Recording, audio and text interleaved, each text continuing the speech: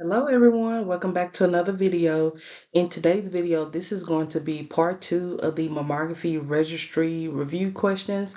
Um, this is going to be practice questions 16 through 30. I have practice questions 1 through 15.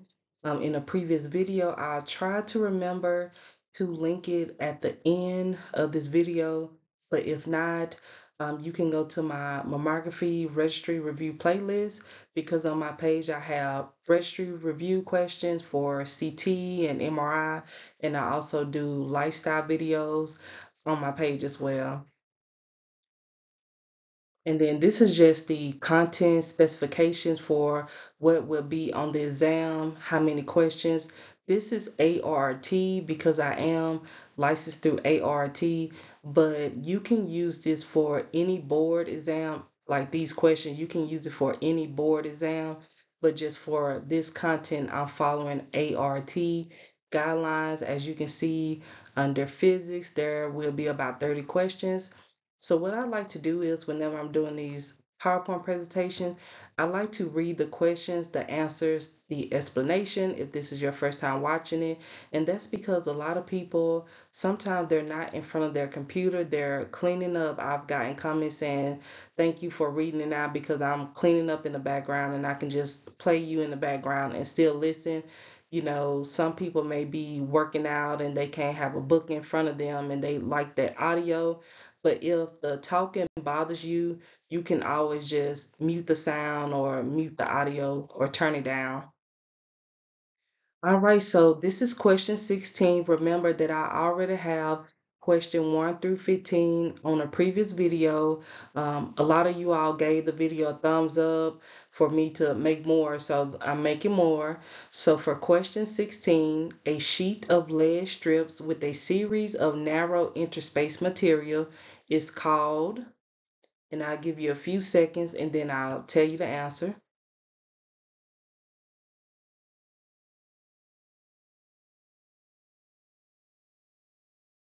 A grid.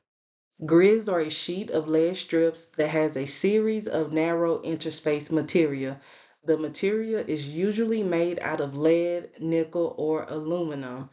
So um, I always tell people not only do you need to focus on the question and the answer, also pay attention to what I'm giving you in the explanation as well, because you know it may be act similar to what I have in the explanation. Question 17. All of the following are true regarding the use of grids in mammography except decreased scatter radiation, improved contrast, results in less radiation dose to the patient, or results in more radiation dose to the patient. So which one of these is not true?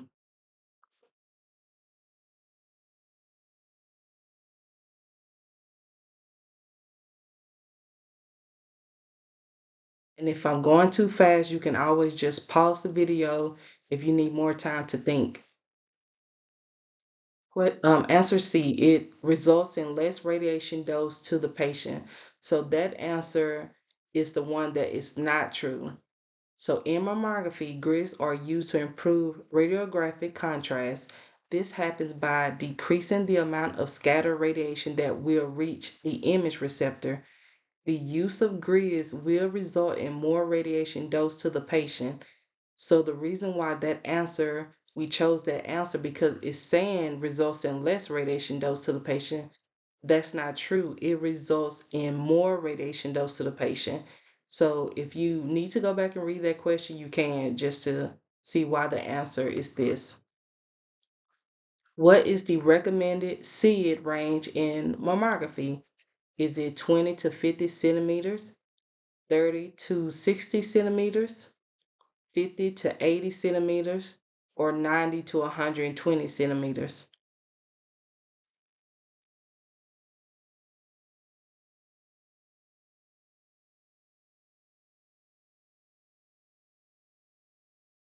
Fifty to eighty centimeters. So um, if you remember, source to image receptor distance is also known as SID. The mammography machine I work on is set at 70 centimeters, And the way you can tell is whenever you are looking at your mammography machine, look up high depending on what machine you're, you're using. I'm using Hologic. So if you're if you can see the compression plate and the detector and the face shield, look above the face shield up a little bit higher and it'll show you what centimeters your SID is at. Question 19. Blank refers to the distance from the X-ray source to the image plate. Is this focal spot size, grid, object to image receptor distance or OID, source to image receptor distance or SID?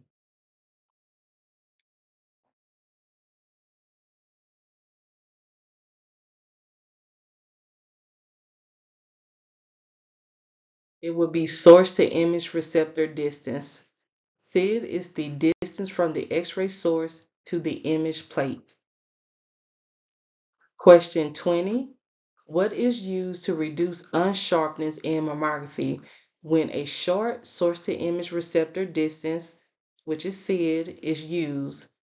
Is it decreased mAs, increased KVP, large focal spot size, or a small focus spot size?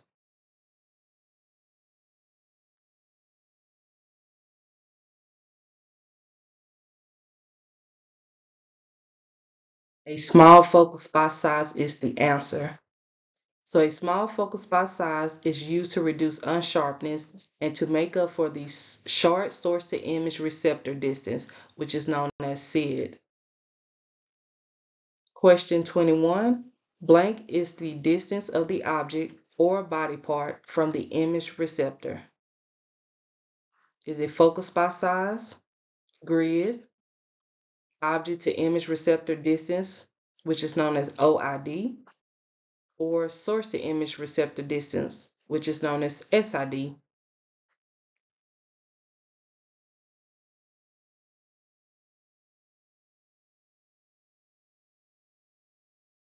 Object to image receptor distance, or OID, is the answer. Question 22. Why is magnification used in mammography? Is it to reduce patient radiation dose, to produce an image with higher contrast, to evaluate macro calcifications, or to evaluate small lesions or micro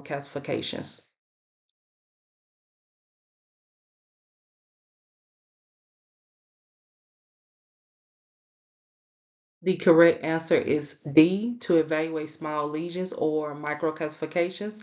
So whenever a patient come in for a screening mammogram, let's just say they come in, they don't have any problems, and then their results come in and they have microcalcifications seen in their breast. And this could be the first time that this has been shown on their breast. And what's going to happen is they are going to get scheduled for a diagnostic mammogram, and then you will have to take images with the magnification stand and the magnification paddle to see those calcifications. So um, let me know if you all are um, comfortable with doing diagnostic mammograms. Do your facility let you do them? Or are you um, on a rotation schedule where you do screenings one day, um, diagnostic another day? Some people, you know, some techs do screening and diagnostic in the same day, depending on what facility you work at. If you're PRN or temporary, you may not have to do any diagnostic mammogram or diagnostic mammograms one of your struggles. So just let me know in the comments. How is scatter radiation reduced in mammography when magnification is used? This is question 23, and this is what I was telling you about uh, with the magnification stand and magnification paddle when a patient has to come in for a diagnostic mammogram for calcs. Question 23 again, how is scatter radiation reduced in mammography when magnification is used? You can also use this picture as a guide if you want to. Um, does it use a large OID? Use a small OID? use a large SID or use a small SID.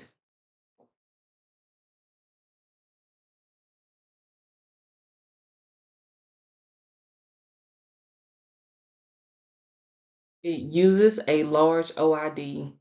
A large OID is used as an air gap technique to reduce scatter to the detector in mammography when magnification is used. Question 24. Which focal spot size is commonly used for routine work in mammography?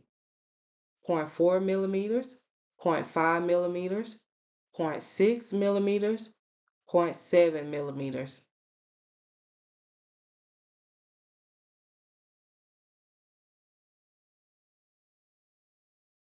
0.4 millimeters. Question 25.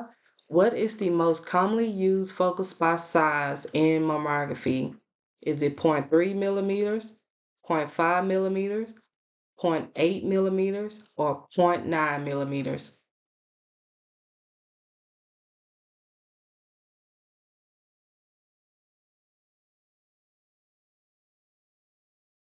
0.3 millimeters. Question 26. What is the most common used focal spot size in magnification? So just whenever you're taking your registry, pay attention to what the question is asking you. Don't just look at common focal spot size and just run to the answer. Um, pay attention to how the question is worded.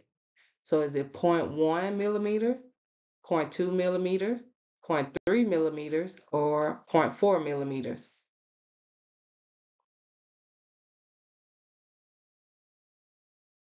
0.1 millimeter. Question 27. This is a true and false question that I decided to throw in. A grid is never used in magnification mammography. Is this question true or false?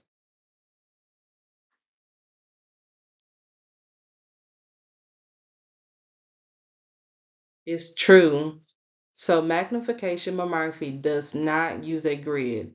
It has a large OID or object to image receptor distance, which is going to serve as an air gap technique.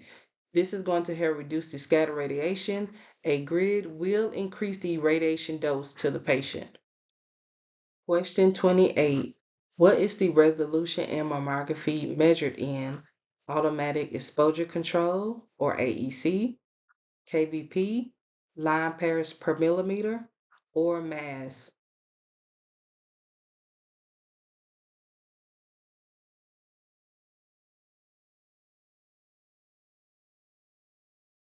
Line pairs per millimeter. Resolution is the ability to image two separate objects in order to be able to distinguish them from the other. Resolution is measured in line pairs per millimeter. Pay attention to certain vocabulary words, especially um, ones that you get confused with.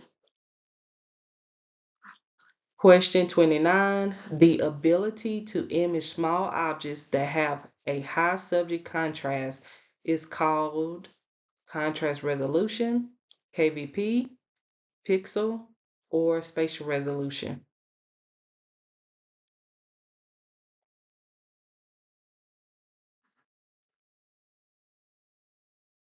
Spatial resolution. So an example of a small object would be microcalcifications. Those are very tiny.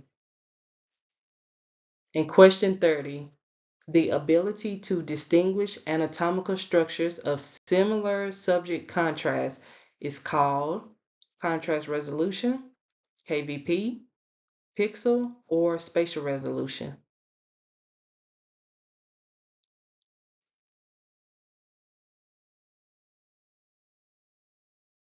Contrast resolution. All right, that's it. Thank you all for watching. Um, if you don't mind supporting the video, please give it a thumbs up. Leave a comment if you found this video helpful as well. You can also leave a comment if you want me to make more videos like this. Um, if you want to, you can also feel free to subscribe for more videos. But other than that, this is it. Um, like I said, if you want more review questions and answers, let me know. Thumbing up the video lets me know that if you found it helpful. um, or if you're enjoying the content. So thank you all for watching and I will stay tuned for your comments to see if you would like more videos like this. And good luck and bye.